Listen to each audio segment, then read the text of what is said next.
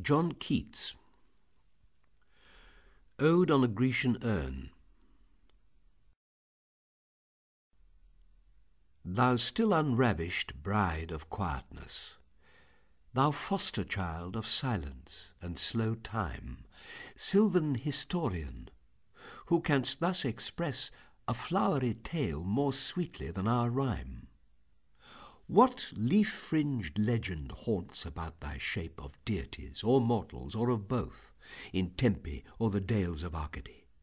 What men or gods are these? What maidens loath? What mad pursuit? What struggle to escape? What pipes and timbrels? What wild ecstasy? Heard melodies are sweet, but those unheard are sweeter.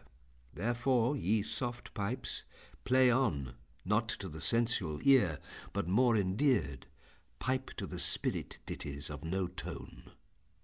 Fair youth, beneath the trees, thou canst not leave thy song, nor ever can those trees be bare.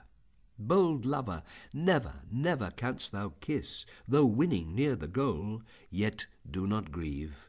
She cannot fade, though thou hast not thy bliss. Forever wilt thou love, and she be fair.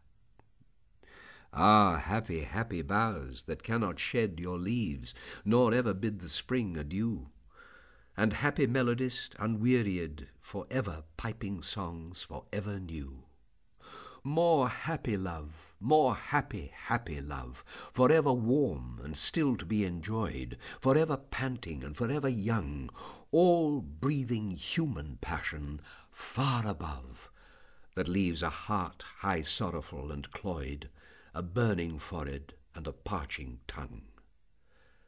Who are these coming to the sacrifice? To what green altar, O mysterious priest, leadst thou that heifer lowing at the skies, and all her silken flanks with garlands dressed?